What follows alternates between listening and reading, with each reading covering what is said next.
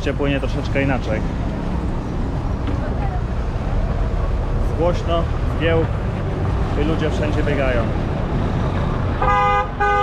No właśnie. Na statystyka. To, co ostatnio dosyć często robimy, bieg na prom. Dlaczego? Bo jak na niego nie wejdziemy, to musimy czekać dwie godziny na następne.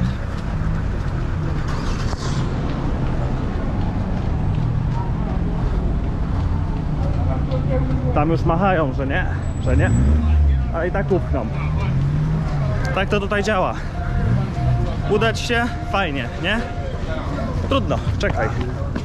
A na statku handel kwitnie. Tam jest koza. Tu jadą arbuzy.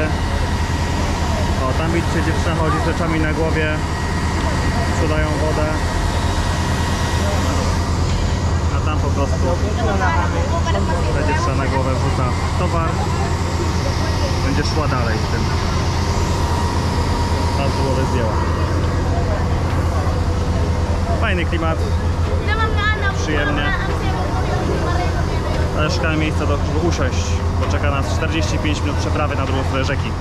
Dzisiaj zaczynamy najtrudniejszą, ale w sumie zarazem pewnie najciekawszą wycieczkę, czyli śladami niewolnictwa, które w Gambii było bardzo popularne.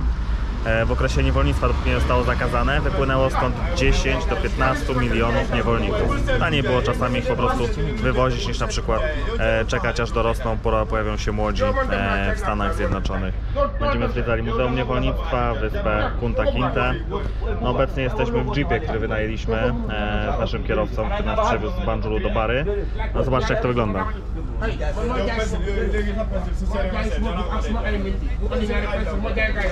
Jak oceniasz stan mechaniczny tego pojazdu? Daję radę. Dojedziemy.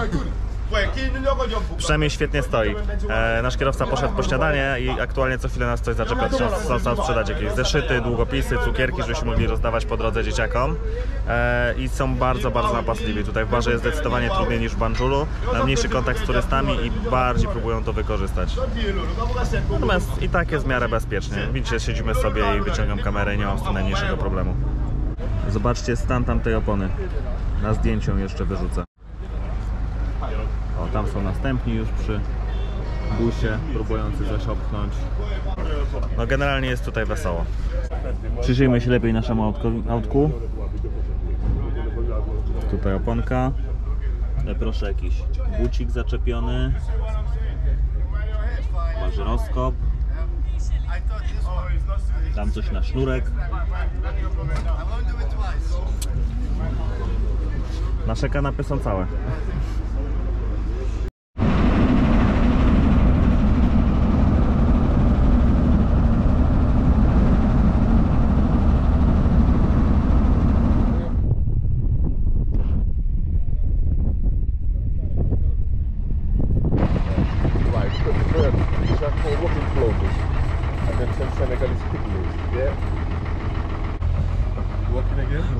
Do siebie, że nie zawsze jest asfalt, czasami jest, czasami go nie ma. E, Jest oczywiście w Banjulu, czyli w stolicy, jest e, w barze naprzeciwko. Bara to nie bar do picia, tylko miejscowość bara.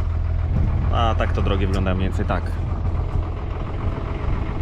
You can drive. Problem. Yeah.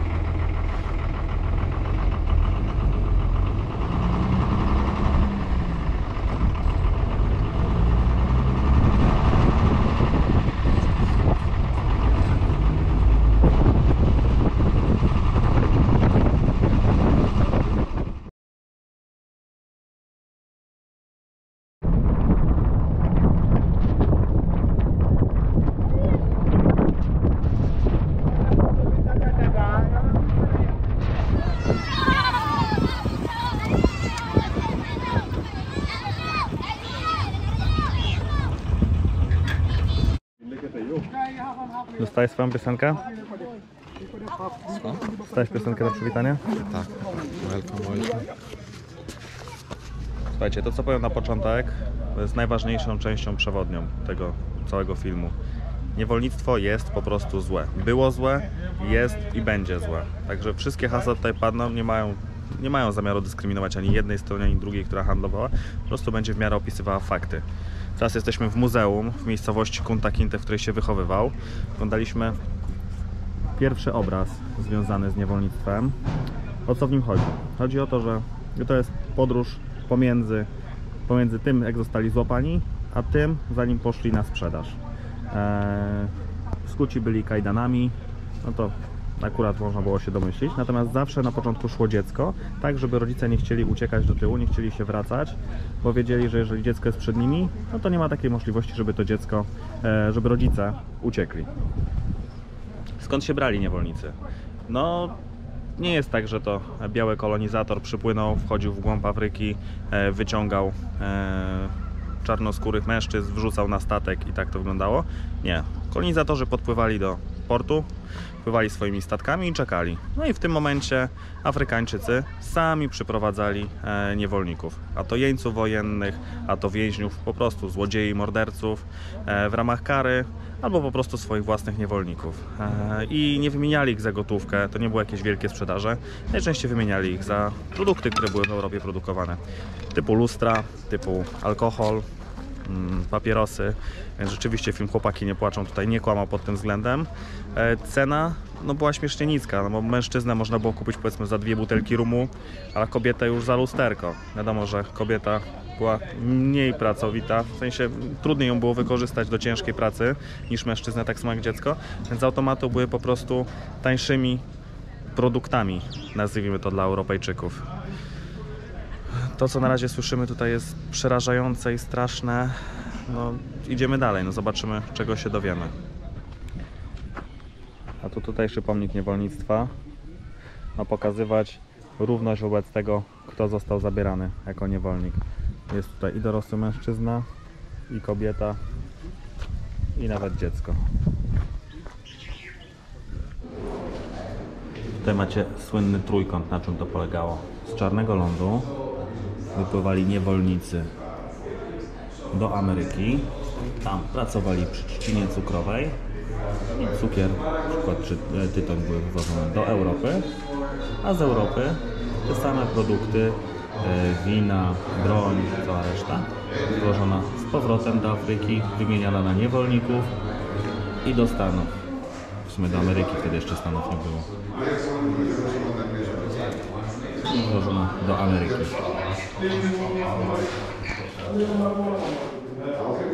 Tutaj mamy przykład sprzętów, które byli zakłóci. No i to co Wam mówiłem wcześniej o dzieciach. Jest to przerażające. Człowiek człowiekowi zgotował ten los.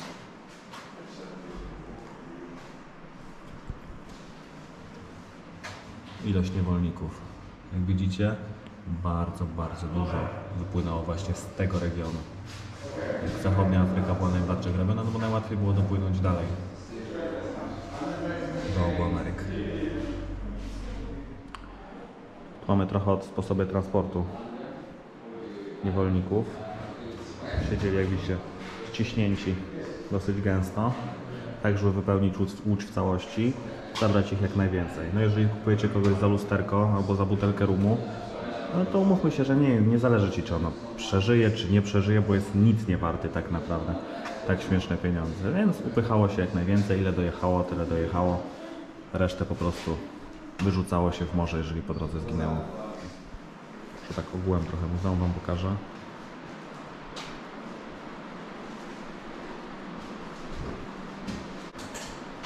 Nie jest to jakieś ultra nowoczesne muzeum. Bardzo dużo zdjęć i obrazków.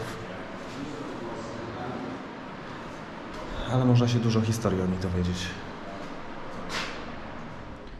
Swoją drogą, w ramach ciekawostek powiem Wam jeszcze, że Gambia jest jedną z polskich kolonii kiedyś w historii. Wszyscy mówią o Madagaskarze, że miał być polską kolonią, do tego nie doszło. No ale w Gambii polska kolonia była. Dokładniej była to polskiego lennika, e, księcia, Jakuba, księcia Jakuba Kettlera, który żył dzisiejszy, na terenach dzisiejszej e, Litwy, e, Łotwy, w tamtych rejonach. E, tam władał, był polskim lennikiem, no i on postanowił w ramach modnych e, kolonii kolonizować. No i myślał o Trinidad, Trinidadzie i Tobago oraz tutaj zbudował e, kilka fortów w Gambii.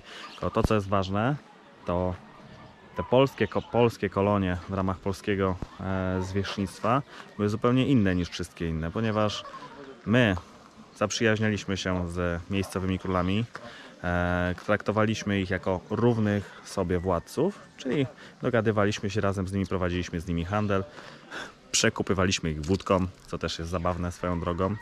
No i z nimi współpracowaliśmy. Nie e, do tego stopnia byli zadowoleni z tego, jak, jak byli rządzeni wtedy, jak to wyglądało, że w momencie, w którym Holendrzy próbowali odbić te forty, no to stali po naszej stronie i razem z nami ich bronili, żeby do tego nie doszło.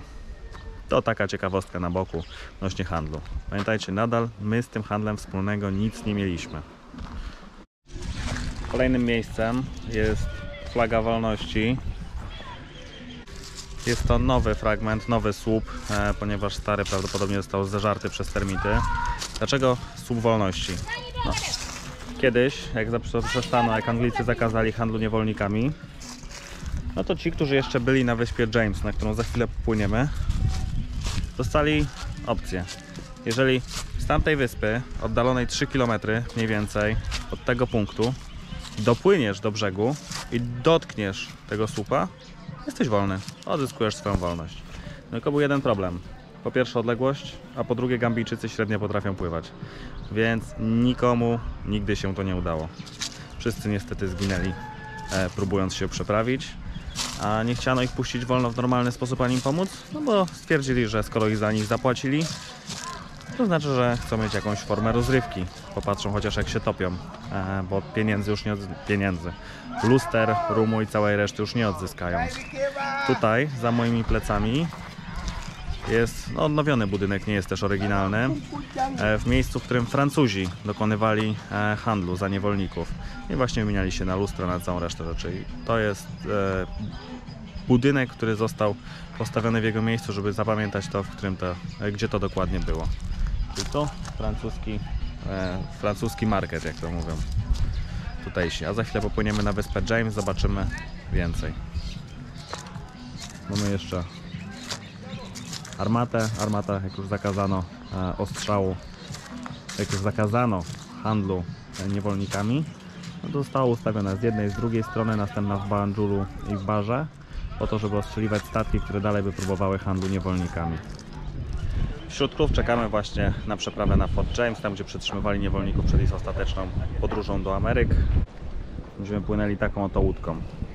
Tego drewna ją robią podobno, już kształtem mi nie przypomina.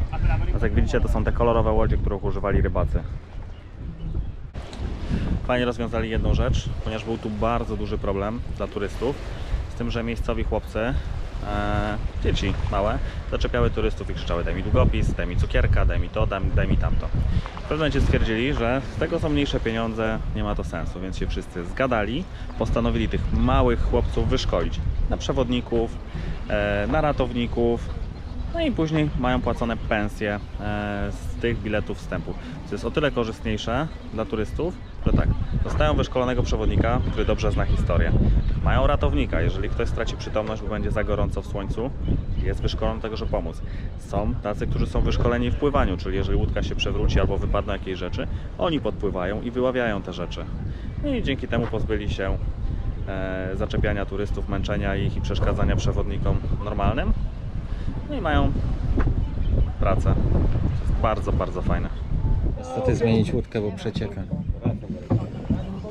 Jeżeli myślicie, że to żart, to jest tam trochę mokro. Ja słyszałeś, potrafią pływać. Kapoki dostał nasz przewodnik tylko. Powiedział, że bardzo się boi pływać, więc ma na sobie e, kapoczek. No, reszta safe O, poszedł, idzie następny kapok. Nie, on zakłada dwa kapoki. Ja się boi. No, drugi kapok.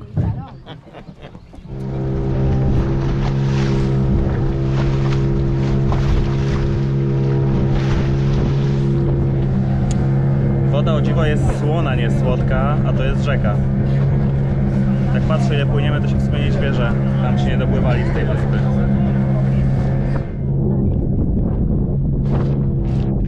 Przestało bujać.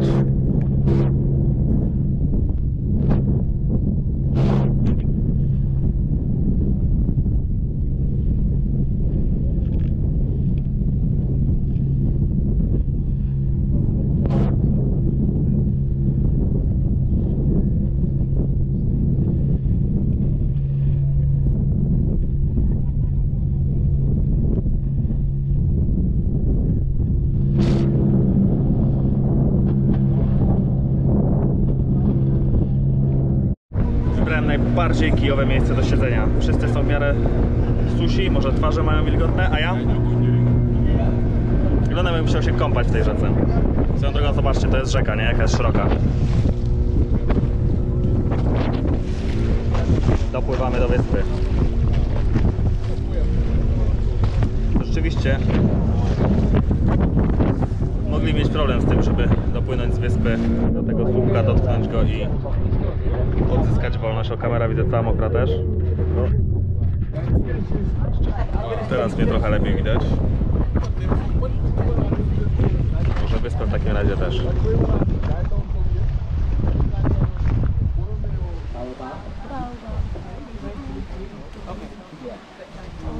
To jest fajnie.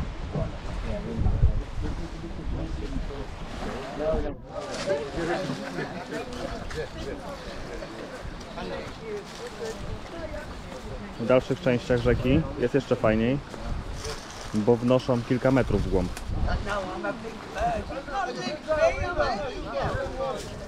O, okazuje się, że wyspa Kunta Kinte kiedyś była dużo większa, większość pochłonęła rzeka. Teraz pan nam mówi o baobabach. Dobra, dookoła mnie są baobaby. Więc wraca, wracając do tematu. Kunta Kinte nazwa została nadana dopiero w XXI wieku. Wcześniej to był St. James, e, świętego Andrzeja wyspa e, i kilka innych miała w międzyczasie. Duża część rzeczy się nie uchowała. E, tutaj przypływali wszyscy niewolnicy, którzy zostali e, skupieni w części lądowej. Boże, tracę słowa, przepraszam Was najmocniej. E, Ci, którzy zostali skupieni w części lądowej, zostali zwożeni tutaj, czekali tutaj około 2-3 tygodni, zanim zostali przewiezieni e, dalej w głąb e, rzeki do Ameryki. Rejs trwał około 22 dni, pouciskani byli jak sardynki jeden na drugim, żeby zmieściło się ich jak najwięcej. Nikomu nie zależało na tym, czy przeżyją, czy nie przeżyją, więc nie dbali o ich zdrowie. Pamiętajcie, kosztowali butelkę rumu, czy tam dwie, więc nie za dużo. I to była taka ostatnia ich destynacja e, przed wypłynięciem. Jak opowiadałem Wam historię o tym, że, jest, że mogli płynąć, pamiętacie? Pewnie tak, bo to było dopiero przed chwilą. No to rzeczywiście, jak zniesiono niewolnictwo, zostało tutaj jeszcze 90 kilku niewolników, postanowiono pozwolić im wracać do rodzin, tylko zamiast ich odpłynąć mówią, słuchajcie, nie macie tutaj jedzenia, nie macie tutaj wody, albo umieracie tutaj, albo skakujecie do wody, płyniecie i wasze, e, wasza wolność, jesteście wolnymi niewolnikami, możecie robić sobie co tylko chcecie. No i ponad 90 niewolników w ten sposób utonęło. To smutna historia wyspy. Obecnie służy za muzeum, żeby pokazać jak to wyglądało. Przekazują historię z pokolenia na pokolenie, żeby nikt nie zapomniał o tym, co się tutaj wydarzyło. Tego zostały tylko ruiny. Tego here większości nie ma. Wygląda to teraz tak. To Tutaj. Dobrze pokazuję. Czekajcie. To będzie musieli zejść tam na dół. Widać miejsce, gdzie był, gdzie żył gubernator wyspy, gdzie zarządzali dokumentacją i gdzie jadł. To był taki plac, gdzie karali. I... Zaraz wam coś pokażę panowie. Dobra, tak będzie łatwiej. Tu żył gubernator, tam była dokumentacja, tutaj jadł.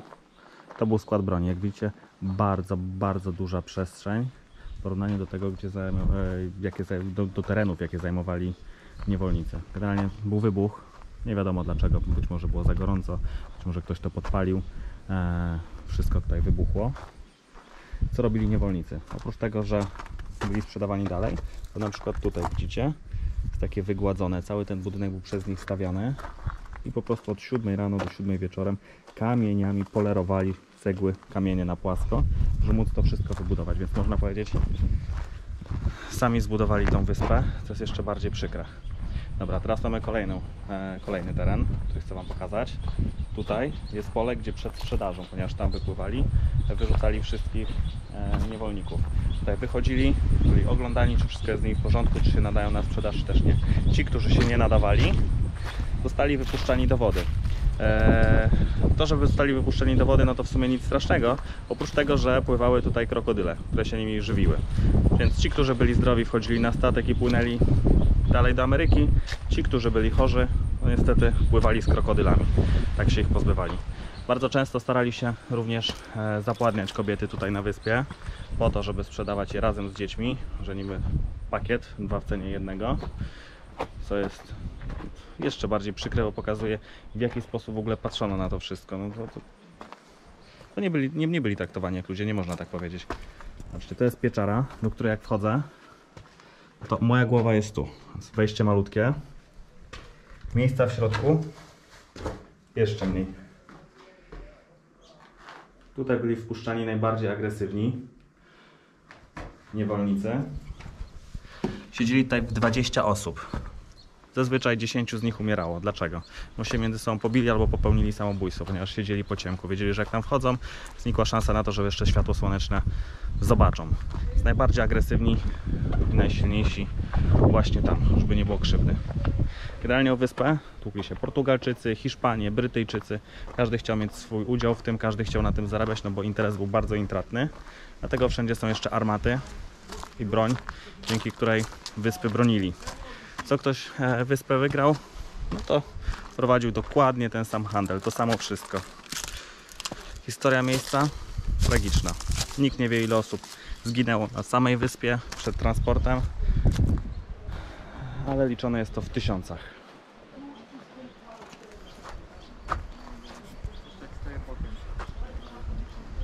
Staramy się więc, żeby nigdy do czegoś takiego podobnego nie doszło.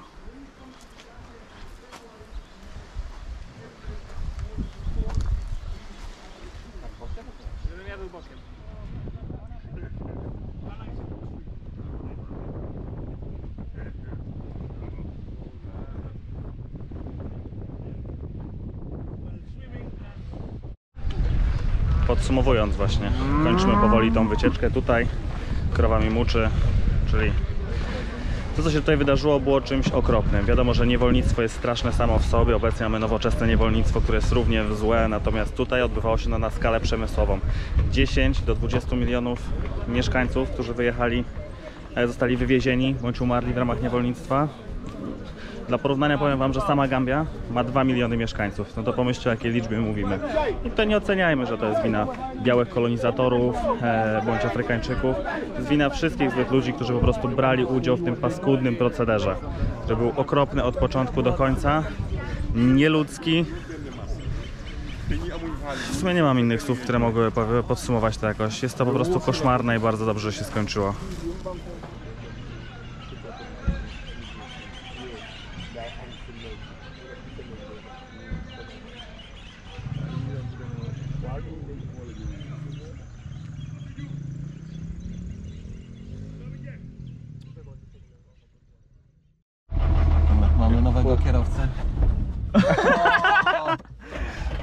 Pojechali.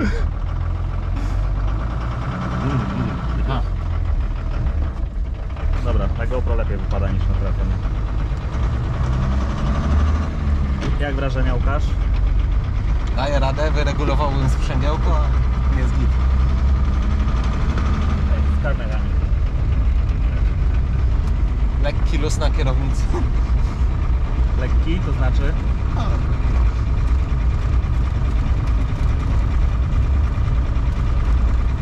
No fajnie, fajnie.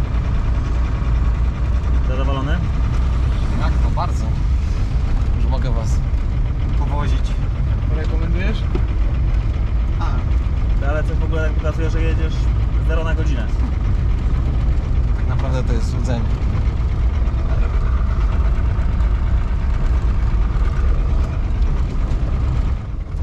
A, Bez wskazówek to nie da rady. O, okej. Patryk. Push together, the accelerator and the color go together. Aha, widzisz? Sprzęgło można wyregulować, ale tak to jest git. No, a to naprawdę chodzi lepiej niż twoja kija. Słuchajcie, ziomeczek dał nam poprowadzić, co jest bardzo miłe. Nie wiem z jaką prędkością, ja to obstawiam, że nie za dużą. Eee, Bo nie, nie, nie działa prędkościomierz w tym aucie. Natomiast samo to, że jedzie do przodu, to i tak jestem w szoku. W lusterkach nie widzę prawie nic. Nie, widzę chłopaków, przepraszam, na kipie. Muszą mijać dziury. Chyba jadę w tej chwili